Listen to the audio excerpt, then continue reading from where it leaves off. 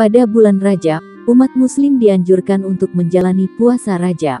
Bulan Rajab adalah bulan ketujuh dalam penanggalan Hijriyah. Bulan tersebut pula yang menandakan bahwa bulan puasa Ramadan semakin dekat. Simak berikut bacaan niat puasa Rajab lengkap dengan keutamaannya. Bulan Rajab juga menjadi salah satu bulan yang dimuliakan Allah.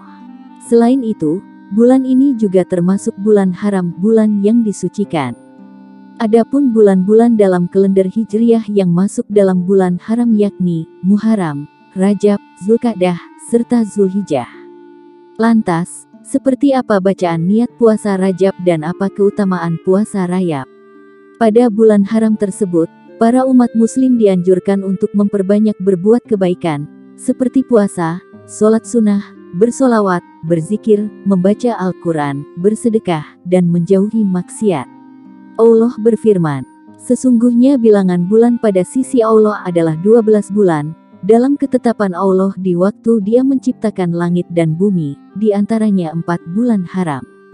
Itulah ketetapan agama yang lurus, maka janganlah kamu menganiaya diri kamu dalam bulan yang empat itu, dan perangilah kaum musyrikin itu semuanya sebagaimana mereka pun memerangi kamu semuanya, dan ketahuilah bahwasanya Allah beserta orang-orang yang bertakwa. Quran Surah At-Taubah ayat 35 Bacaan niat puasa Rajab Bagi umat muslim yang akan menjalankan ibadah puasa sunnah di bulan Rajab, berikut ini bacaan niat puasa Rajab. Nawaitu sawma godin fi syahri rajabi sunatan lillahi ta'ala. Artinya, aku berniat puasa sunnah rajab esok hari karena Allah subhanahu wa ta'ala.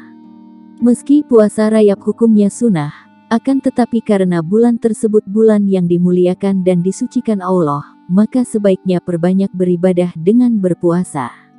Keutamaan puasa rajab Puasa tiga hari pada awal bulan rajab, maka seperti menjalani ibadah puasa selama setahun.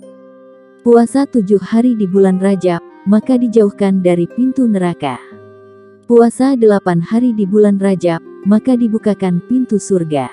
Puasa sepuluh hari di bulan Rajab, maka dikabulkan segala permohonannya.